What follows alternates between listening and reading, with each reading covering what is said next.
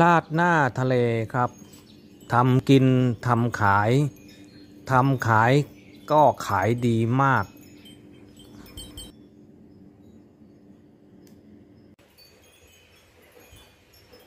เพื่อนเพื่อนท่านผู้ชมครับ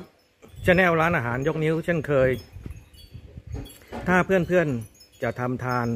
ก็ทำได้เลยเป็นปกติ แต่สำหรับเพื่อนเพื่อนคนไหนที่จะเอาไป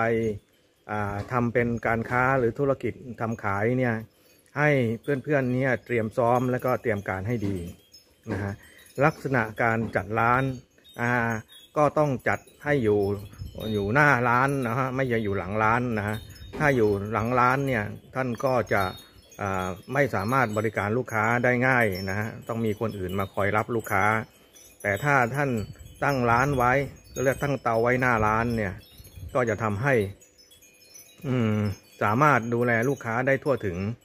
แล้วง่ายแล้วก็ประหยัดค่าใช้จ่ายนะฮะแล้วก็ของที่โชว์ก็เช่นกันอ่าจะสร้างแรงจูงใจในการทำให้หน้าทานนะฮะหรือเห็นพบเห็นแล้วก็เอออยากทานนะวิธีการผัดก็เช่นกันนะฮะท่านก็เตรียมซ้อมนะฮะ ให้หลาย ๆ ครั้งหน่อย แล้วก็ชิมรสชาติปรุงรสให้อ่าอ่าพอใจ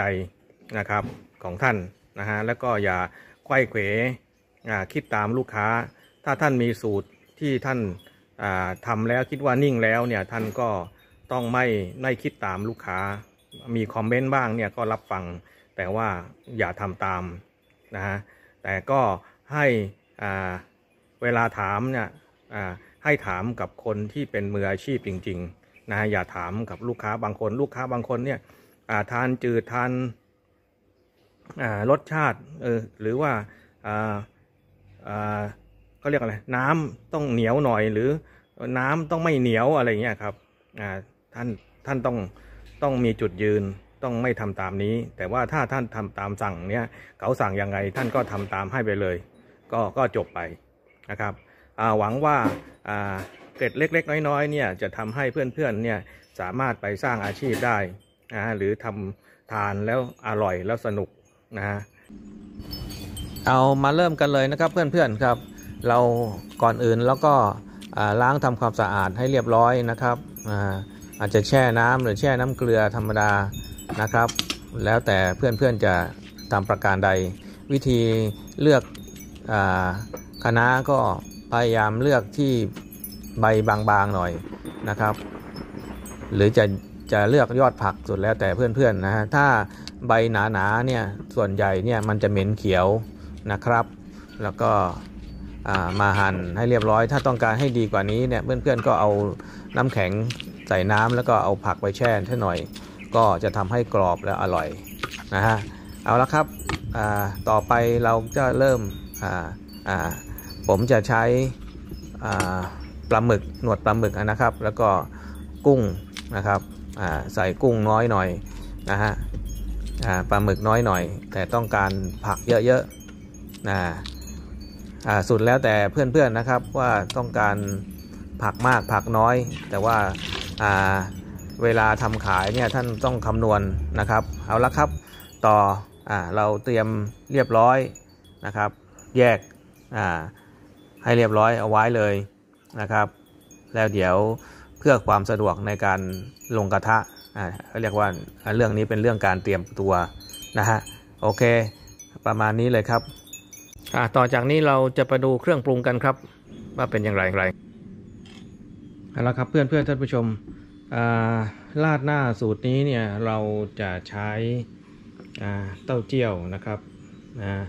ให้เพื่อนเพื่อนท่านผู้ชมเลือกเต้าเจี้ยว นะครับ แล้วก็น้ำมันหอยนะครับน้ำตาล แล้วก็ผงซุปไก่นะครับ แล้วก็พริกไทย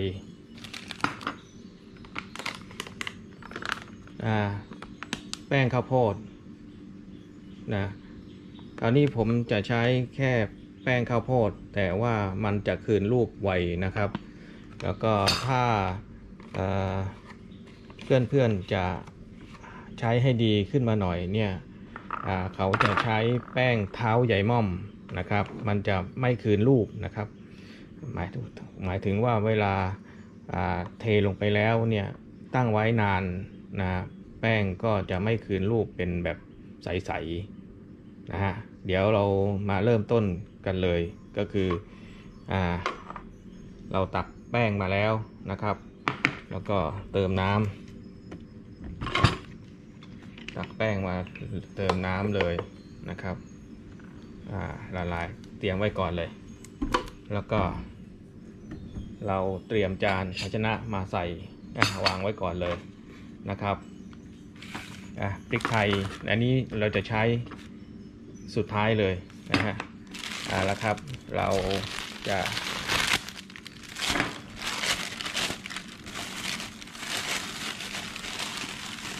เริ่มใช้เส้นเส้นที่เราใช้เนี่ยมันจะเป็นเส้นที่ที่เส้นผัดนะครับ มันใหญ่นะแล้วก็เหนียวนุ่มนะแต่ถ้าเส้นเล็กๆมันแล้วแต่ท่านผู้ชมจะเลือกใช้นะฮะแต่ผมจะเลือกเลือกใช้เส้นแบบนี้นะฮะมันจะอร่อยอร่อยกว่านะครับเอาละครับทีนี้เวลาเริ่มต้น จะเริ่มยังไงนะฮะของผมเนี่ย เดี๋ยวเราจะไม่ไม่ปรุงรสเส้นนะครับ เราจะเอาเส้นเนี่ยผัดทำให้เส้นเนี่ยมันมีกลิ่นกระทะอ่าไหม้ไหม้เป็นกลิ่นกระทะ แต่ไม่ใช่ไม่ไหม้ไม่ใช่ไหม้นะฮะอ่าเรามาเริ่มอ่าใส่น้ำมันนิดหน่อย แล้วก็จะอ่ารอให้ กระทะร้อนแล้วก็เราก็จะผัดนะฮะวิธีการผัดเนี่ยมันมีหลายวิธีนะครับวันนี้เราจะใช้กระทะนะฮะไม่ใช้ซีอิ๊วดำหวานนะก็บางคนเขาก็จะใช้ซีอิ๊วดำหวานใส่ลงไปบ้างนะครับ แต่นี่ไม่เราจะ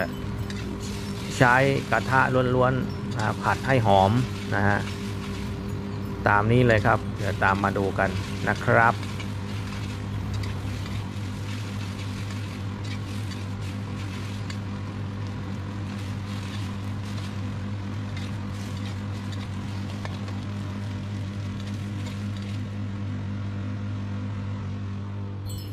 เอาละครับ เราได้เส้นหอมสวยงามแล้วพักไว้แล้วเราก็มาเติมน้ำนะครับ แล้วก็เราจะาใช้เต้าเจี้ยวสูตรนี้นะฮะเราใช้น้ำมันหอย ใช้น้ำตาลทราย แล้วก็ใช้ผงซุปนะครับ แต่ถ้าเพื่อนๆเนี่ยทำปริมาณมากเนี่ยควรจะทำเป็นน้ำซุปที่ใช้กระดูก โครงไก่หรือกระดูกหมูใส่ลงไปแล้วก็ใส่ผักลงไปบ้างนะฮะเพื่อให้น้ำซุปเนี่ยมันมีปริมาณพอแล้วง่ายต่อสะดวกต่อการจัดการที่ตักมาใส่ในนี้นะครับ เอาละครับแล้วก็พอเราปรุงรสตามที่อธิบายให้ฟังแล้วเนี่ยครับเราก็จะใส่ผักแล้วก็ใส่เนื้อสัตว์ลงไปตามไปเลย นะฮะแต่ถ้าเนื้อสัตว์ถ้าเป็นพวกปลาเนี่ยให้ใส่ลงไปก่อนนะครับ เพราะว่าปลามันจะสุกช้านะฮะแต่นี้มันกุ้งกับปลาหมึกเนี่ยไม่เป็นไรนะฮะเอาละครับแล้วก็อาหารไทยทุกจานเนี่ยยังไงก็ต้องชิมครับนะฮะแล้วก็พอเดือดได้ที่แล้ว เราก็จะใส่อ่า แป้งลงไปนะครับ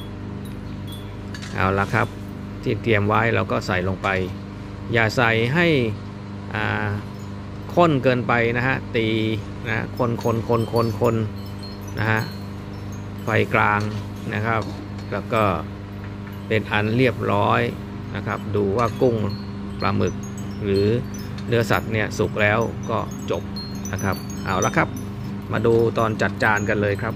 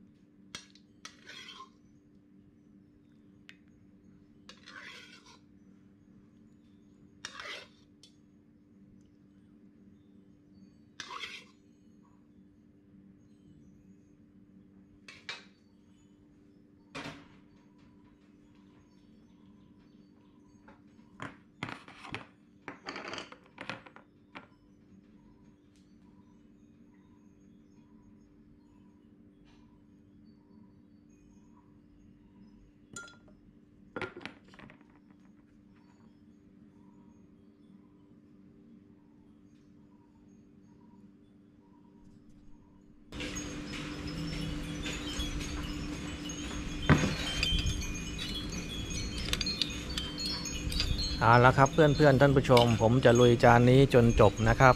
แล้วก็หวังเป็นอย่างยิ่งว่าอ่าเพื่อนเพื่อนๆท่านผู้ชมคง enjoy อ่ากันนะครับกับสูตรนี้ และรับรองว่าอร่อยแน่นอนอืมแล้วก็อย่าลืมให้กำลังใจด้วยการชมอ่าโพสต์นี้ให้จบ แล้วก็อ่ากดไลค์กดแชร์ให้ด้วยนะครับ แล้วก็ติดตามอ่า โพสต์อื่นๆของช anel ร้านอาหารยกนิ้วด้วย ขอบพระคุณที่ติดตามนะฮะขอบพระคุณที่ให้กำลังใจเสมอมา วันนี้ลาไปก่อนครับ สวัสดีครับ